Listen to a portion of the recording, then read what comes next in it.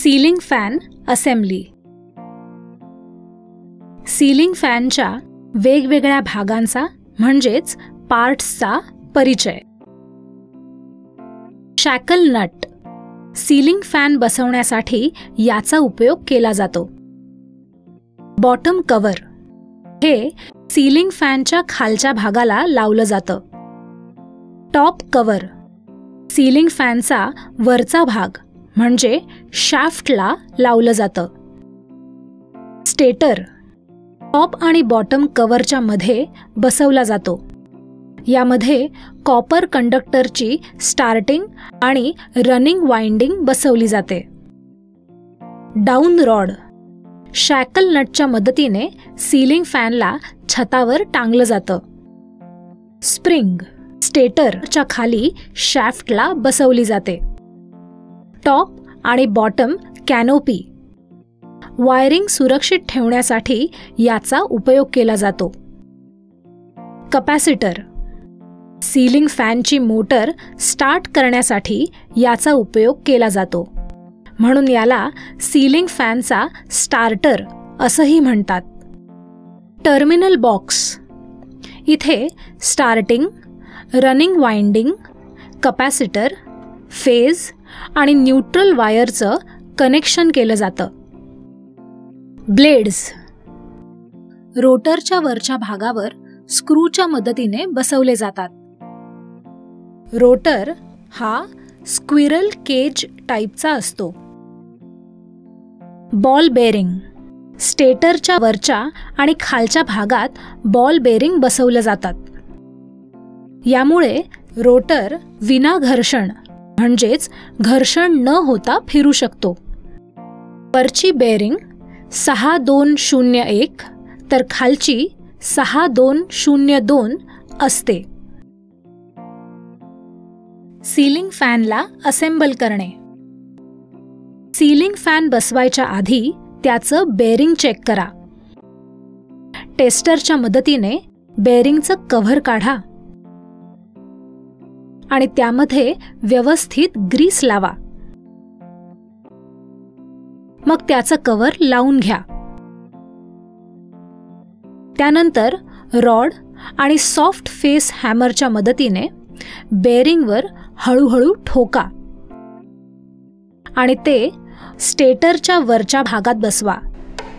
लक्षात ठेवा बेरिंग बसवताना त्याच्या दोन्ही बाजूंना आलटून पालटून ठोका. तसं केलं तरच बेरिंग योग्य पोझिशनमध्ये बसेल.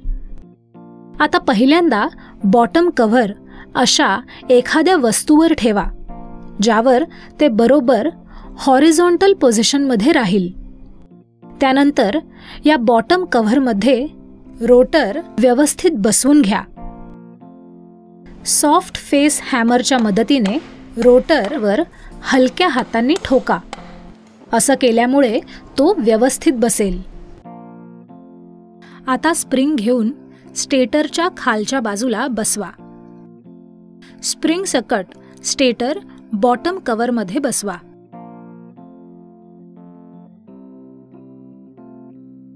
आता टॉप कव्हर नीट बसवून घ्या. या स्क्रूचा उपयोग करून टॉप आणि बॉटम कव्हर एकत्र जोडा. स्क्रू ड्रायव्हरच्या मदतीने सर्व स्क्रू व्यवस्थित घट्ट बसवा. लक्षात ठेवा स्टेटर आणि रोटरच्या मध्ये स्प्रिंग लावताना चारी बाजूंनी ती हाताने दाबा. असं केल्यामुळे स्टेटर आणि रोटरमधली एअर गॅप एकसमान राहते.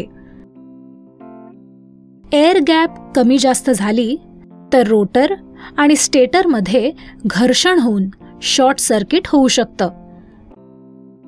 त्यानंतर डाऊन रॉडच्या खालच्या होलमधून म्हणजेच छिद्रामधून तिन्ही वायर्स स्क्रूड्रायव्हरच्या मदतीने बाहेर काढा. काळ्या रंगाची स्लीव्ह घ्या आणि त्यात तिन्ही वायर्स एकत्र करा. आता स्क्रूच्या मदतीने टर्मिनल बॉक्स लावा. लक्षात ठेवा वायर्स होलमधून काढताना त्यांचं इन्स्युलेशन निघणार नाही याकडे लक्ष द्या. कारण वायर्स एक दुसऱ्याच्या संपर्कात आल्या तर शॉर्ट सर्किट होऊ शकतं. स्क्रूच्या प्रकारानुसारच स्क्रूड्रायव्हर वापरा. टर्मिनलला वायर जोडताना स्क्रू व्यवस्थित लावा. लूज कनेक्शन झाल्यास स्पार्किंग होऊ शकतं. किंवा लूज कनेक्शनमुळे फॅन फिरणारच नाही. आता कपॅसिटर घ्या. टर्मिनल बॉक्समध्ये असलेल्या जागी तो व्यवस्थित बसवा. कपॅसिटरच्या दोन टर्मिनलपैकी एक टर्मिनल काळ्या टर्मिनलशी जोडा. आणि दुसरं टर्मिनल पिवळ्या टर्मिनलशी जोडा. काळ्या रंगाचं टर्मिनल रनिंग वाइंडिंगचं आणि पिवळ्या रंगाचं टर्मिनल स्टार्टिंग वाइंडिंगचं असतं. आता टर्मिनल बॉक्सच्या वरच्या टर्मिनलला लाल म्हणजेच कॉमन वायर जोडा. स्टार्टिंग वाइंडिंग आणि कपॅसिटरचं टर्मिनल एकत्र जोडलेलं टोक मधल्या टर्मिनलशी जोडा. रनिंग वाइंडिंग आणि कपॅसिटरचं टर्मिनल एकत्र जोडलेलं टोक खालच्या टर्मिनलशी जोडा. आता डाऊन रॉड घ्या. रोटरच्या शॅफ्टमध्ये स्क्रू लावून डाऊन रॉड नीट बसवा. नट बोल्टचा वापर करून डाऊन रॉड आणि शॅफ्ट जोडा.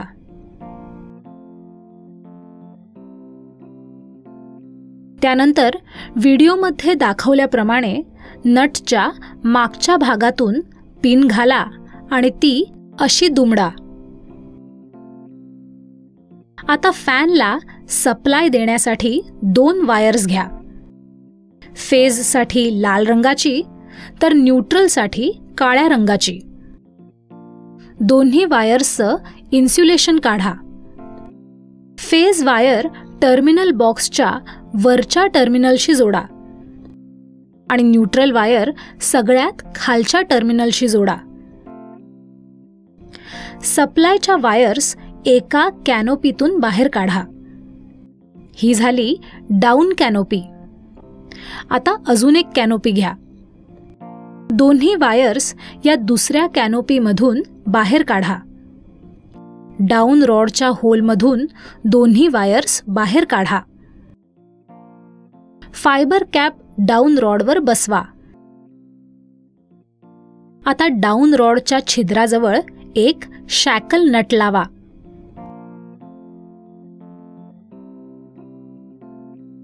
नट बसवून झाल्यावर त्याच्या मागच्या बाजूला पिन लावून ती दुमडा. अशा प्रकारे सीलिंग फॅन असेंबल करून झाला आहे. सुरक्षितता. स्क्रू घट्ट बसवणं गरजेचं आहे. तो लूज ठेवू नका.